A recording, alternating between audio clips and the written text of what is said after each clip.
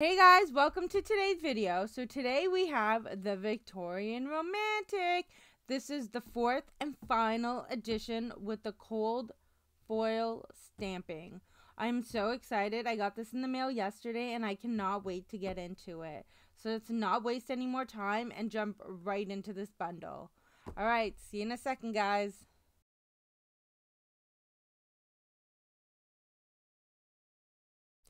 All right, guys, let's get right into this. So we have the Victorian Romantic. I did suck it up and buy the bigger guidebook because I did want to get all the extra information on the cards since I've never used this deck before. There's some spreads. There's a colored photo for each card, which I really appreciate as someone that's never used this deck before. I'm looking forward to having all the resources to understand what's on each card. So that is the guidebook. So well done. And the paper's really nice. It's a really, really nice guidebook. I highly recommend it. At least so far of what I've went through. So what we're really here for, the Victorian Romantic. Now normally I put all my decks in bags that I make myself or I get Peggy bags. But this one came in such a pretty, beautiful, well done box that I think honestly I'm just going to put it on my altar in my living room and leave it in the box because it's just so beautiful. So this is the inside of the box. I'm even debating, let me know down below what you think of maybe putting a little bit of something on the inside and the bottom and the top. I don't know. I haven't decided. I don't know if there'd even be enough room. So let me know what you guys think. But it's a beautifully done box. Like, oh, it's so well done. So there's that.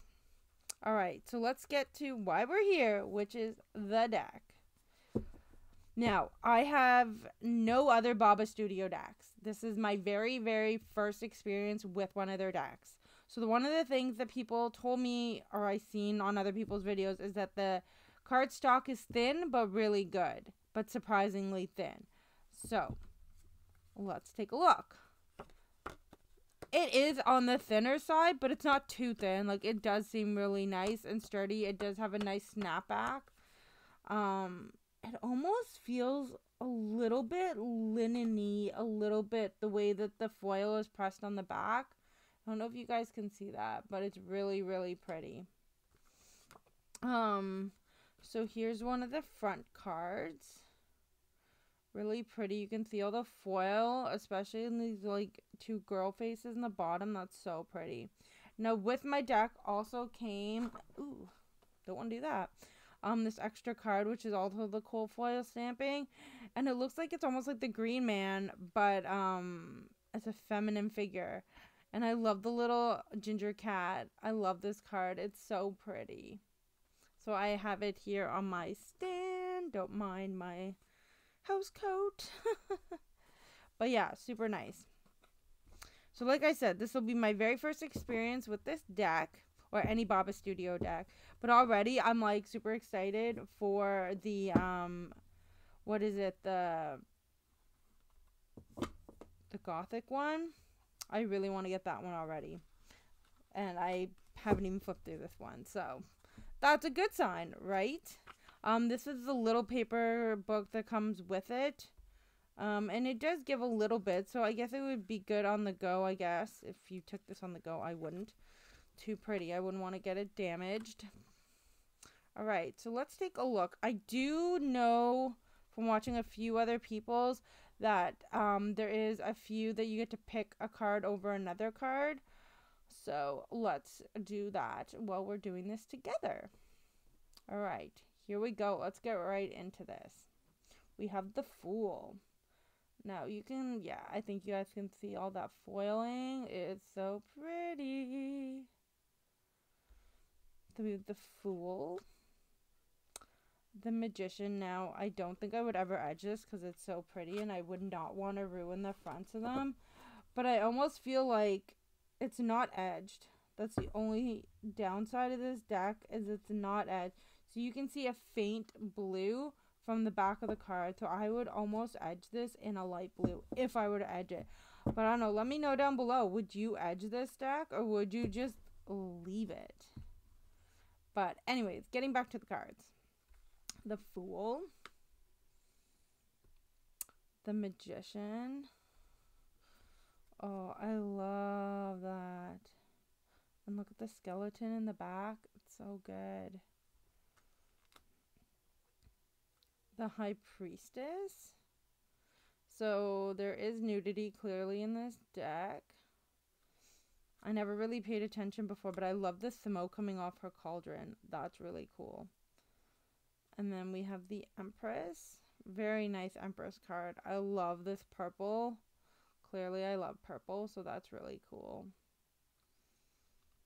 And then it looks like we have two Emperor cards. So taking a look at the Emperor cards, this definitely feels more Emperor to me.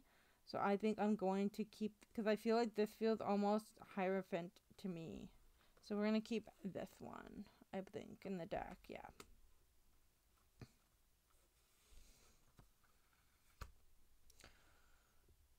Yeah, because this is like the Hierophant, but this almost feels like it's a little bit Hierophant to me.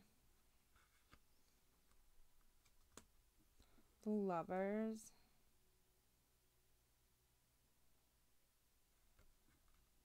Oh, there's two lovers cards. Okay. So, I definitely prefer this lovers card over this one. That's for sure. This one's clearly a lovers card to me. I don't know what this feels like to me, but it doesn't quite. It almost feels two of cups more than lovers. But this one feels like a lover's card to me. I definitely like the art in that one better. Chariot. Oh, I love. Oh, and look at there's almost like little diamonds on her dress. So cute. I love that. The strength card. Oh, I love this strength card. Like there's there's multiple lions and lionesses. That's really cool. I don't think I noticed that in any other walkthrough. Must have not paid that much attention. The hermit. Very hermity to me. Oh, he almost has like wings. That's cool. The Wheel of Fortune. Which totally makes sense. Out, down on your luck, doing what you can, and he's got all the wealth. Justice. Wow, look at that red hair. Isn't that gorgeous?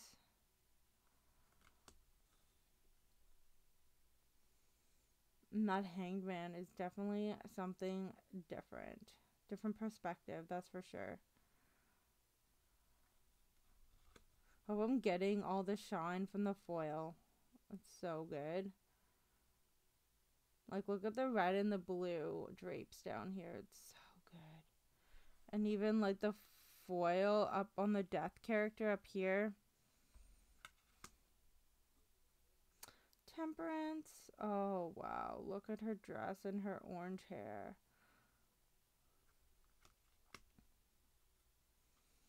Okay. We have two devil cards. This one feels more traditional devil. Like, it looks very almost like Adam and Eve a little bit. But it's like the monster with Eve.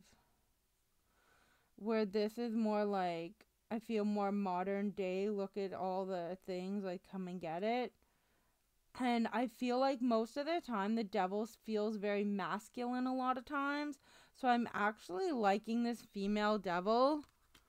Plus she's in a purple dress. So there's that. Let's pick her. Oh, this is a good tower card.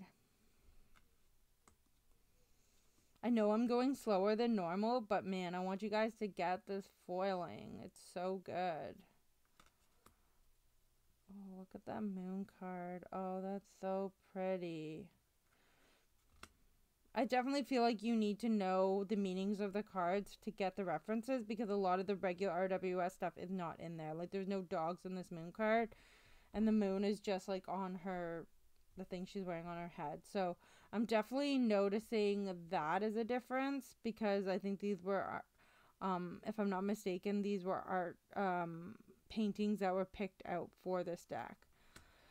So, and then maybe altered a little bit. So, I definitely feel like this is not the most beginner friendly deck. Unless you have the book and you're ready to look up every card meeting. That's a good judgment card. But I definitely feel like some of them you need to look up the meaning. The world. Oh, that's a different perspective. I'd like to look up why they choose that one. All right, now we're into our minor arcana.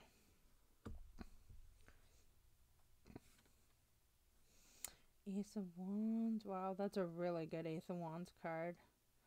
I really like. Oh, wow, look at that. So pretty. Oh, yeah, looking out the Two of Wands, so that's good.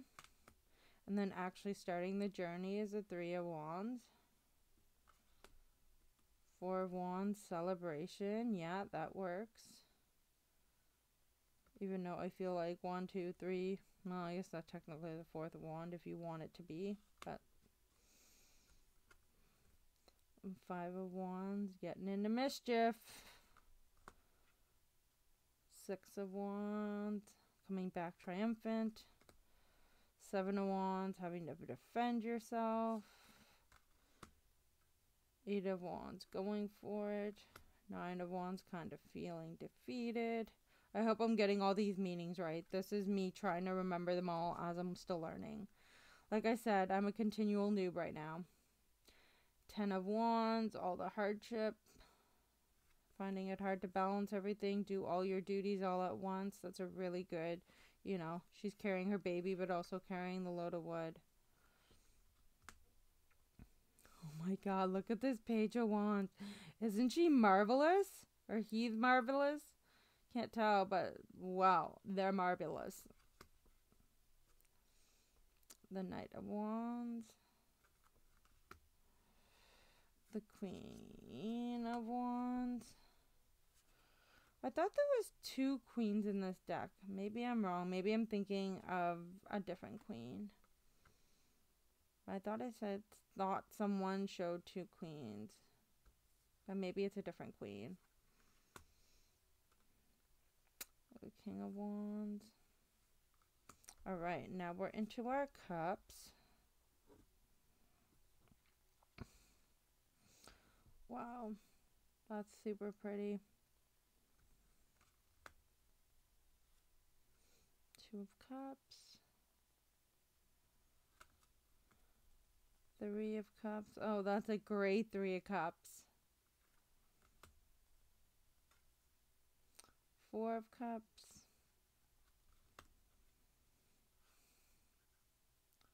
Five of Cups.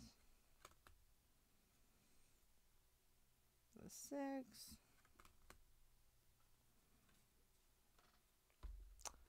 Sevens.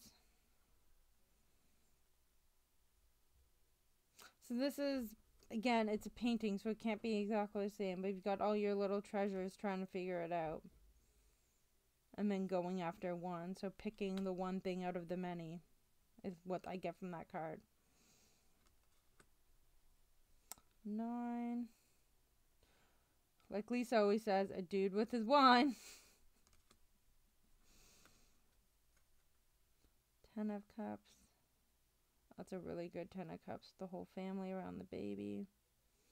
All the shimmer in their outfits. I love the shimmer in this deck. It's so good. Page. Oh, wow. Look at the Knight of Cups. That definitely feels like a Knight of Cups. The Queen of Cups. Oh, I love all the colors in her dress and all that fabric around her. That's so good. King. And now we're into our sword suit. Ace of Swords. I love that sword with the ribbon around it. That's really pretty. The two. Mm, the three. That's really good. And it almost looks like that's a heart. So that's a really good three of swords. four. Five, that makes sense. The six, getting away. Seven, getting away with. Eight, because she's bound, that makes sense. Nine, trying to sneak away and get away from what's rough, probably. And 10, feeling overwhelmed. And if you can notice, the guy's there, and it's almost like a female wave is coming to take him away.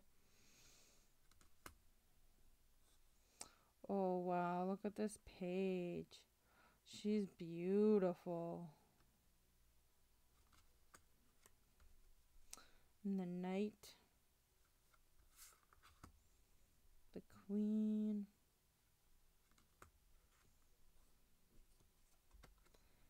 The king. Looks very like, ugh, I'm doing this again. That's just my interpretation, but you know. All right, now we're at our pentacles. Oh, she is so sweet. I love her. She is so sweet. The two. I'm hoping you guys are getting all the shimmer. This is such a shimmery, beautiful deck. Like, oh, it's going to be a beauty to play with. Our four. Five definitely makes sense.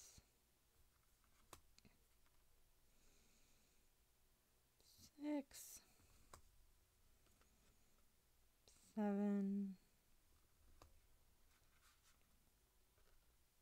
Eight. I love all these blue and even that white shimmers really nicely. Nine, ten. Look at all that abundance.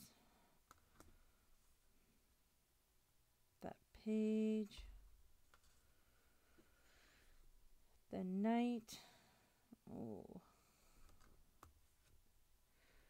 Queen and king. I really thought there was one card that had two queens in it, but maybe I was wrong, or maybe my deck didn't have that. I almost want to go back and double check. Is king, queen. Because I'm sure I've seen that in somebody else's walkthrough.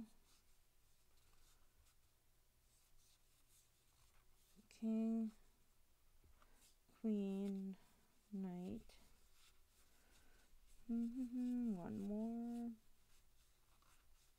King, Queen. Hmm, so maybe not in my deck. I'm confused. I thought somebody had another queen in their deck. Maybe I'm wrong. Either way, so these were the extra cards that I pulled out. Um, and this deck is just beautiful. So let me know down below what you think. I think the backs are really, really nice. I did see the third or the second edition somebody else had, had like pink or red backs. Those are pretty too. Um, I think it was Boho Tarot, but I also do really enjoy these. Um, so that is the walkthrough of the Victorian Romantic fourth and final edition. I hope you guys enjoyed that, and I'll see you around TarotTube, Instagram, Facebook group, and now Twitter. So until next time, bye guys. Don't forget to like, hit that subscribe button, and I'll see you next time.